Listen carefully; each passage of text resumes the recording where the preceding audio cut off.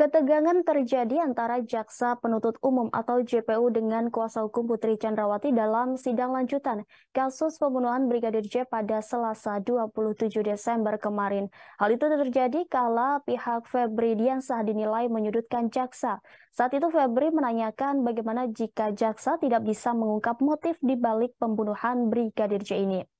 Lantas pertanyaan tersebut langsung direspons oleh JPU sebab dianggap tak bisa mengungkap motif perkara ini. Tapi hakim justru mempersilahkan kuasa hukum Verdi Sambo untuk melanjutkan pertanyaannya. Hakim memberi kesempatan kepada jaksa untuk menanggapi di dalam tuntutan. Dalam sidang kali ini, pihak kuasa hukum Verdi Sambo menghadirkan saksi ahli untuk meringankan tuntutan klien mereka. Jaksa menilai bahwa pertanyaan penasihat hukum Sambo sudah keluar dari keahlian saksi.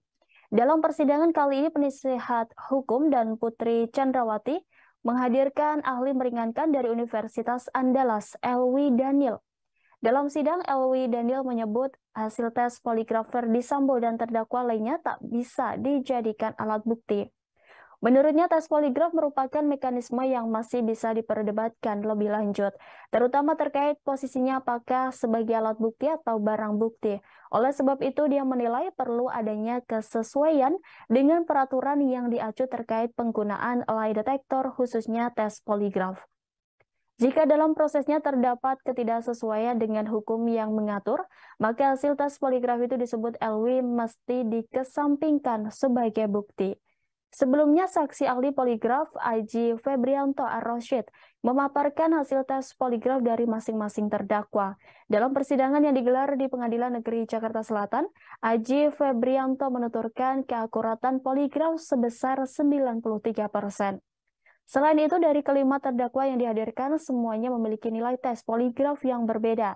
Yang pertama adalah Verdi Sambo. Aji menyampaikan SKD Propam Polri itu mendapat nilai sebesar minus 8. Artinya Verdi Sambo terindikasi berbohong. Sementara itu istri Verdi Sambo yakni Putri Chandrawati mendapatkan nilai sebesar minus 25, lebih besar daripada Verdi Sambo. Kemudian terdakwa Kuat Maruf melakukan dua kali tes poligraf. Pertanyaan pertama terindikasi jujur, sedangkan yang kedua terindikasi berbohong. Disampaikan aja pertanyaan pertama mengenai apakah Kuat Maruf memergoki putri selingkuh dengan Yosua. Menurut, menurut hasil poligraf, pertanyaan tersebut mendapat nilai sebesar plus 9 sehingga Kuat terindikasi berkata jujur. Untuk pertanyaan kedua yakni apakah Kuat Maruf melihat Verdi Sambo menembak Yosua, jawabannya Kuat tidak melihat. Hasilnya yakni minus 13 artinya Kuat terindikasi berbohong. Selanjutnya terdakwa Riki Rizal juga melakukan dua kali tes poligraf, keduanya mendapatkan hasil terindikasi jujur, yang terakhir yakni terdakwa Richard Eliezer. Dalam hasil tes poligraf, Baradae terindikasi jujur dengan skor sebesar plus 13.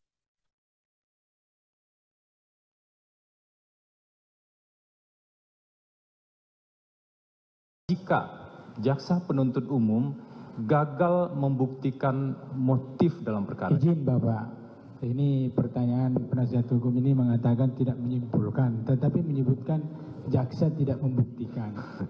Silakan nanti ditanggapi di Jadi, dalam tuntutan. Sudah, lanjutkan penasihat hukum. Jika seandainya dalam hal, saya tambahkan biar lebih jelas bagi teman-teman jaksa penuntut umum, bagaimana jika JPU gagal membuktikan motif dalam perkara ini? Izin Bapak, sebelum dijawab oleh ahli, bagaimana penasihat hukum bisa memikirkan bahwa kami ini gagal membuktikan? Jika itu kan artinya kamu membentuk opini, tanya saja sesuai dengan keahliannya. Majelis Hakim tidak melarang ya. pertanyaan tersebut. Silakan lanjutkan dijawab. nanti silakan tanggapi di tuntutan. Lanjutkan penasihat hukum. Silakan dijawab saudara ahli. Baik, mohon izin kawan penuntut umum. Uh, tadi sudah saya jelaskan di awal keterangan saya. Terima kasih sudah nonton. Jangan lupa like, subscribe, dan share ya.